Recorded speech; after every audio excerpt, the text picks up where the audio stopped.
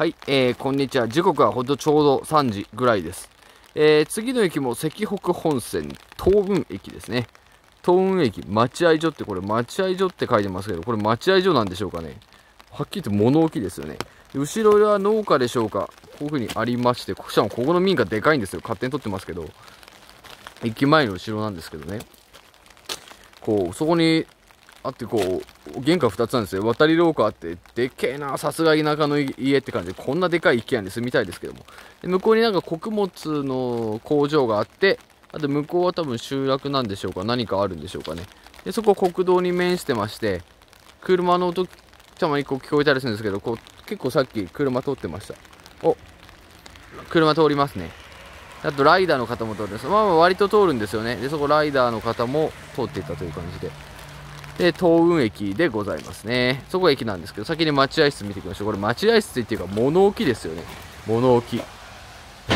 すごいな、これ。暗暗いんで、まあ、閉めようと思えば閉めるんで、まあ、駅寝するには安心かもしれませんが、まあ、駅寝しようとすればできますけど、息苦しくないですかね。東雲駅の列車運行状況ということで、まあ、こういう風になってますけど、こっちの方が見やすいかな。えーと、この蛍光ペンで書いてくれてるところなんですね。こ東雲駅ということで。上りなんですけど、えっ、ー、と、16時2分で帰ろうかなと思ってます。あと18時46分が最終ということで、石北本線の上りなんですけど、まあ、接続のね、なんかライラックとかカムイとかの接続の時間も書いてくれてます。で、こっちが下りなので、えっ、ー、と、14時46分で来たんですよ。14時46分で来たので、えっ、ー、と、16時2分で帰れるということですね。見てください。このレ点。通過列車多すぎですよね。普通列車も通過するってことでなんかこう聞いた話によるとあの東運？もなんかもう廃止になるんじゃないかっていう話なんですよね。通過列車も多いし。なのでまあ一応あれですよ。廃止になる前に来ようとしたんですよね。なんか廃止になるとして愛山とかえっ、ー、と東運とかあとどこですか？将軍山？あと北日の出？あそこら辺があと瀬戸瀬とかなんかその廃止になるんじゃないかっていう話がたくさん出てますよね。あの要するに通過列車の多いところ。っていうか実際ね、白滝シリーズ廃止になってしまったんで、えっ、ー、と、行く前に廃止になってしまったんで残念だなとは思いますけど、こちら隣の駅上川ですね。上川北見方面ということになりますね。で、こっちが旭川方面ですね。で、ここも板張りホームと、待合室あるだけまだマシでしたね。雨降ってるんで、あのー、小屋にいようと思います。次まで。あれなかったら、ここでずぶ濡れになって待ってなきゃいけなかったですね。えっ、ー、と、料金表が、はい。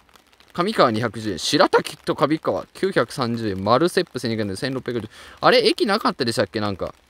上川と白滝の間。旧白滝、新白滝、奥白滝？なくなったから、あれ？あ瀬戸瀬戸はなかったっけ？なんか。あれ ?4 つじゃん。あ、そうだね。43、45、48、50ってことは何か駅があったはず忘れちゃった。上川、マルセップ、あれ？忘れちゃいましたね。まあ、ちょっとだいぶあります。エンガールまで料金表出てきましたね。ついに1640円、マルセップ1270円。確かエンガールとマルセップって2駅ぐらいだったような気したんですけどね。えー、っと、あとは旭川930円ですね。旭川の方が近いですね、だいぶね。白滝、じゃあ白滝はまだあったか。えー、っと、さっきの時刻表の通り、かなり本数はないですね。えー、10時41分に来るともう終わりますね。14時20分で来たかったんですけど、ちょっと来れなかった。ということで、チェック駅表示でかいな。何？あれ？なんすか？あ、通過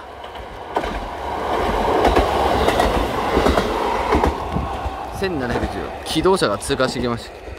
えー、っとプーとか言ってくんないんですね。プーとか言ってくれよって感じで普通列車通過してきましたよ。プープーとか言ってくれよって感じですけど東雲左アンタロマ難読駅名ですけど。右上川ですね。ということで行ってしまいました。プーとかやってくれればいいのに無視されましたね。何だったんでしょうね。以上ですね。えー、こちら。東雲駅でございました。